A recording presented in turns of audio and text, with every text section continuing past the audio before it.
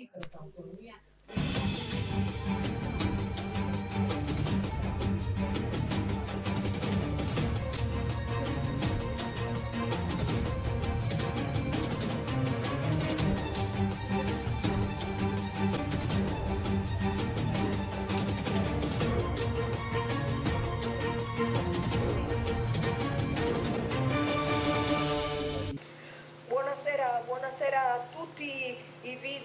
Ascoltatori di Liberi.tv, la tv web che mantiene molto informata a tutta la sua rete di persone che la seguono in quanto alla situazione del Venezuela. Veramente da un po' di tempo che non ci trovavamo più, ma nuovamente siamo qui con voi. Siamo qui con voi in una giornata molto dura e difficile per il Venezuela per quanto si sa che eh, domattina il paese sarà un altro, un altro ancora che inizia ad attraversare una lunga notte di orrore, con un regime di orrore e di terrore che con la vincita del illegittimo Maduro eh, andrà verso una strada sconosciuta, sconosciuta nell'orizzontalità della vita, della storia e delle attuali circostanze. Indubbiamente sappiamo perché su questa eh, Liberi TV, su questa web TV abbiamo fatto qualche anno fa un programma molto preciso su come era instaurato la frode elettorale nel Venezuela. Oggi c'è un nuovo partito che è il partito CLAP, cioè il partito di coloro che devono avere il carnet per la tessera per poter avere alimenti, medicine e tutti i benefici che si possano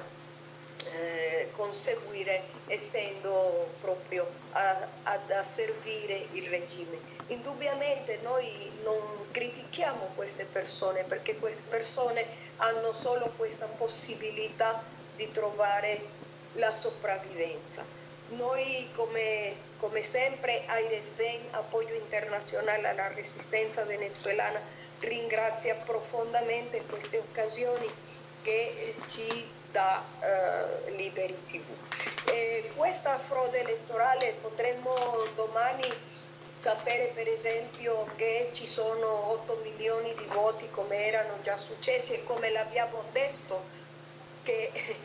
nel mese di luglio avevano definito una cifra coloro che erano andati a firmare per un plebiscito che la pseudo opposizione collaborazionista ed elettorera traditrice e assolutamente colpevole di questo olodomor, olocausto, esterminio per fame, denutrizione, mala sanità,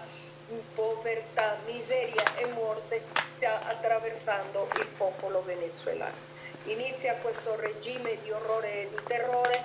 che ancora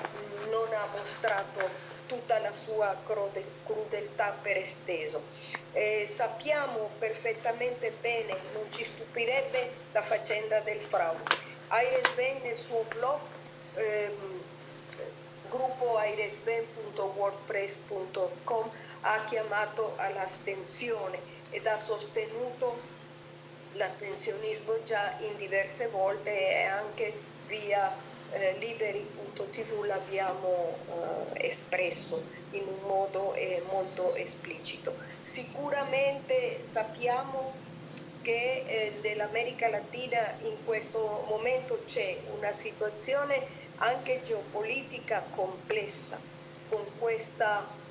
situazione di questo castrocomunismo eh, di taglio stalinista per quanto si è configurata la sua propria opposizione e comunque in qualche modo l'opposizione non ha voluto per questa volta eh, partecipare una parte di essa alle elezioni e però noi di già Aires Ben si pronuncia contro loro, il loro opportunismo di prendersi il grande astensionismo se succederà come se fosse una loro vittoria. Perché come lo sapete molto bene, Aires Vena ha sempre eh, espresso indubbiamente eh, una lotta, siamo resistenza propositiva non violenta, ma è arrivato il momento in cui abbiamo iniziato a parlare della defenestrazione di tutta la cassa politicante dell'elettorera venezuelana senza eccezione, in quanto nessun continuismo dovrebbe poter far nascere quella nuova Venezuela che noi decretiamo sia nata l'8 ottobre del 2012. Indubbiamente ci sono anche grandi eh, aspettative perché eh, quest'anno e anche dall'anno scorso la comunità europea e diverse istituzioni a livello internazionale si sono mosse. Abbiamo da molti anni detto che era l'assordante il silenzio delle organizzazioni internazionali, in questo momento se ne occupano, ma non se ne occupano perché il Paese possa uscire verso una strada di democrazia, Stato di diritto, di diritti umani, eh, laica, un federalismo decentralizzato, bensì verso un continuismo che possa garantire l'impunità di un narcostato e dei narcocorrotti che eh, rappresentano un regime eh, delinquenziale, militar delinquenziale con civili in mezzo, ma veramente eh, di trafficanti. Questo l'abbiamo detto in diverse opportunità. In questo momento, dicevo, la situazione geopolitica è anche delicata perché nel Nicaragua ci sono la gioventù, così come la nostra eroica, era uscita per strada ed è stata uccisa ed è stata sacrificata le loro vite dal regime, ugualmente in Nicaragua stanno succedendo queste cose perché sono unificate eh, in questa il castrismo li unifica nella loro crudeltà. Eh, sono regimi molto molto crudeli e molto impietosi. In questo momento anche i prigionieri politici, qualche giorno fa un gruppo di essi si sono sollevati nel carcere politico di, dell'elicoide del SEVIN, si chiama del servizio di intelligenza, eh, del, servizio di intelligenza della polizia, dell'esercito, però ehm, abbiamo e chiediamo anche in questo momento l'integrità della loro vita, così come abbiamo chiesto l'integrità della vita di Juan Carlos Caguaripá. Dicevo la, la situazione geopolitica delicata in quanto c'è anche la situazione in Colombia e del candidato della FARC Petro. E in qualche modo eh, avete visto dei servizi dove i venezuelani passano per centinaia per migliaia verso la Colombia attraverso un ponte passano anche eh, verso il Brasile e il, certuni fanno anche strade a piedi in una migrazione forzata da, eh, dai limiti del, del paese per quanto sappiamo benissimo che il comunismo sa gestire alla perfezione eh, il, l'arma della fame.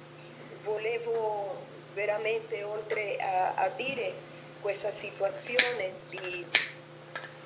di, di, di sicuramente frode elettorale, cioè a cosa noi andremo incontro, perché probabilmente la situazione è difficile da capire come sempre l'abbiamo detto. Non è solo quello che dicono i giornali o le neutralità per una volta del manifesto, è molto più di quanto si creda. Perché? Perché potrebbe Qua su Liberi TV abbiamo parlato noi di diversi colpi di Stato con le diverse origini, eh, le modalità le abbiamo spiegate, ma in questo momento potrebbe anche darsi una specie di autogolpe o di golpe mascherato, come lo potremmo dire, in quanto sicuramente la situazione internazionale, ringraziamo eh, il dottor Antonio Tajani che se ne è occupato grandemente di, della situazione dei venezuelani. Certo, loro chiedono elezioni, che si facciano elezioni, Aires Vena ha sempre detto questo non è la strada, non, non è in, per andare, per uscire da questa situazione in cui siamo, non sono elezioni immediate che poi un sistema elettorale molto difficile da smontare come è concepito la frode, ma comunque lo ringraziamo per, per questo. Che cosa può succedere? Bene, una che domani escano 8 milioni di voti e che sono andati massicciamente ed eccetera, benché eh, nel 2005, questo lo avevamo spiegato, eh, abbiamo chiamato all'astensione e praticamente abbiamo, mh, mm, siamo riusciti ad arrivare all'87% poi l'opposizione non seppe in quel momento, seppe fra, fra virgolette, cogliere questa occasione perché semplicemente negoziò sotto banco con il regime e quindi non si fece la lotta dell'illegittimità di quel momento. L'Assemblea nazionale era una elezione per l'Assemblea nazionale, diventò praticamente tutta ufficialista. Questa volta invece Oltre a quelle ipotesi che abbiamo detto, c'è una situazione curiosa. Da una parte Trump, il presidente nordamericano Trump, se ne è occupato del Venezuela in diverse opportunità, non sempre credo si sia saputo o almeno eh, non abbiamo, magari non avuto l'informazione completa. Di sentire eh, quante volte lui si è occupato nei giornali italiani, però essendo noi informati quotidianamente della situazione nostra sappiamo che anche il senatore Marco Rubio se ne è occupato. Il 18 di questo mese il Dipartimento del Tesoro ha finalmente eh, diciamo, denunciato e dietro la traccia e credo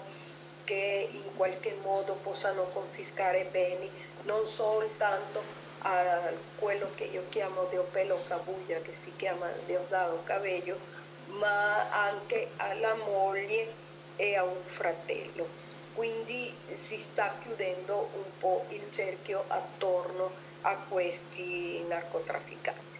Ora, che cosa dicevo? Eh, dicevo che ci potrebbe stare un'altra situazione che sarebbe quella che eh, veramente voler, voler, volessero togliersi un po' Maduro di mezzo per,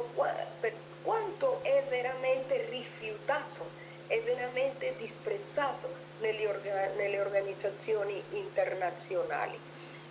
E loro avrebbero il gioco perfetto perché con la prostituente, che sarebbe l'Assemblea nazionale costituente in atto totalmente illegittima e incostituzionale, loro potrebbero dire che vanno a un processo di riorganizzazione dello Stato nazionale e quindi passano a eh, nominare chi è l'attuale presidente col suo fratello, che sono i fratelli Rodriguez, che veramente hanno dietro di loro una figura molto nefasta, di cui molti anni fa abbiamo parlato per Liberi TV, che si chiama José Vicente Rangel, che potrebbe stare organizzando questa tramoia, cioè questa, come dire, questa trappola, non trappola, questo cambiamento, questo mutamento, con questa differenza il narcostato ha per esempio una figura nel carcere che si chiama Walid Maclet da molto tempo, anche lì quando non l'hanno eh, deportato negli Stati Uniti ma è stato um, inviato nel Venezuela, abbiamo fatto uh, commenti su liberi.tv. Lui deve sostenere eh, una parte di questo narcotraffico, ma che è soprattutto quello che è in relazione con il terrorismo internazionale. Quindi Walid Maclet può proteggere può proteggere il vice ministro attuale, ma vorrebbe prendere la, mm,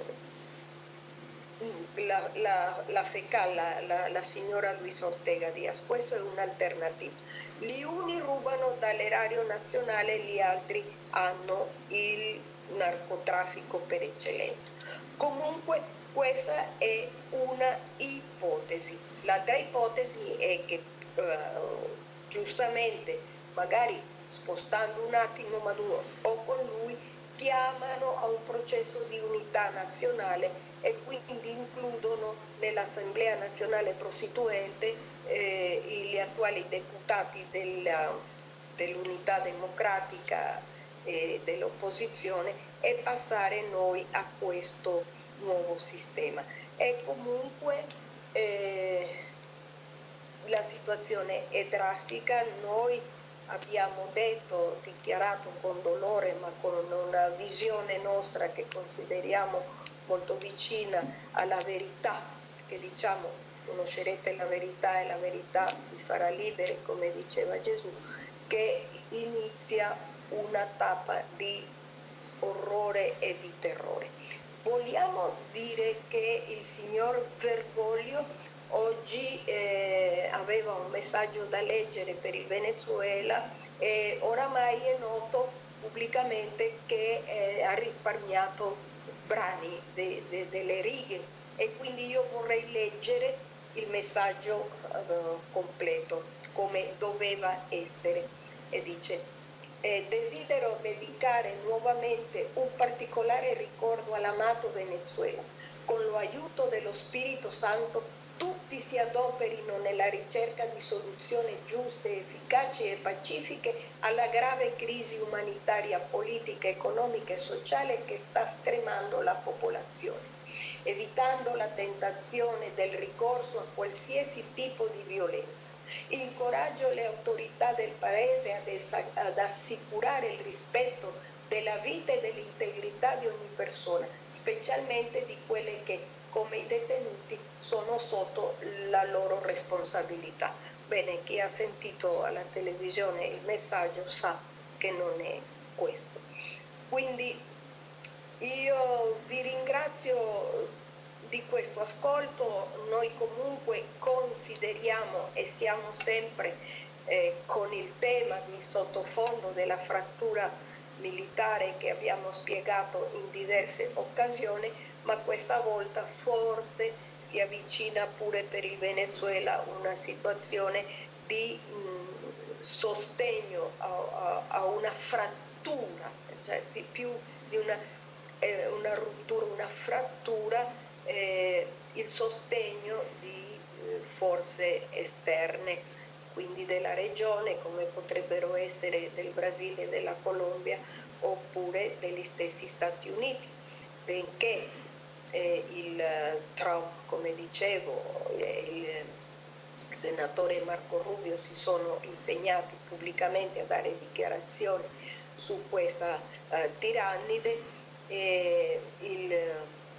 il signor Pensi in qualche modo ha rinforzato nuovamente le forze dell'opposizione e quindi il Venezuela continua con le sue immensissime ricchezze ad essere un patio per eh,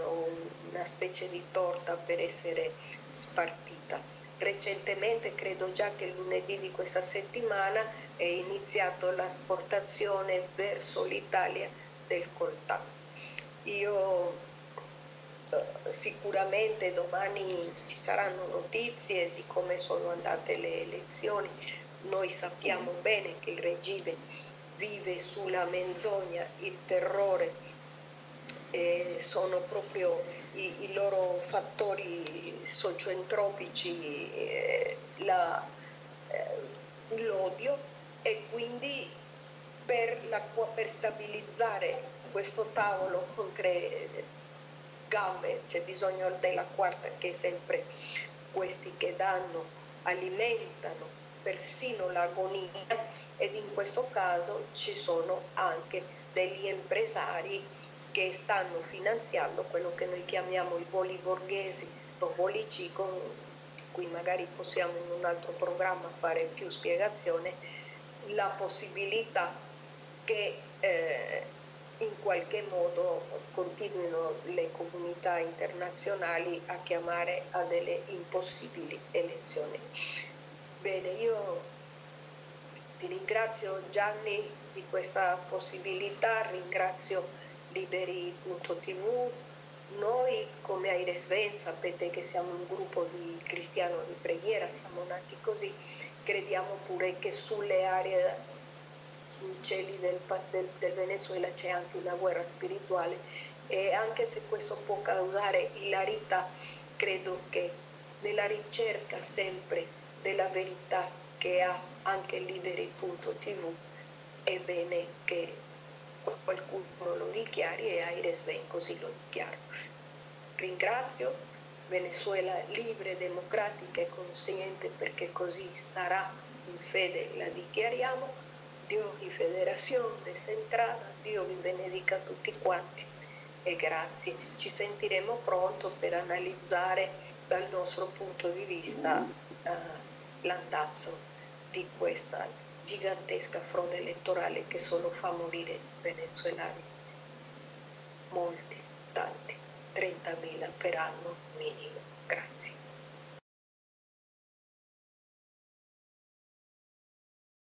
Mm-hmm.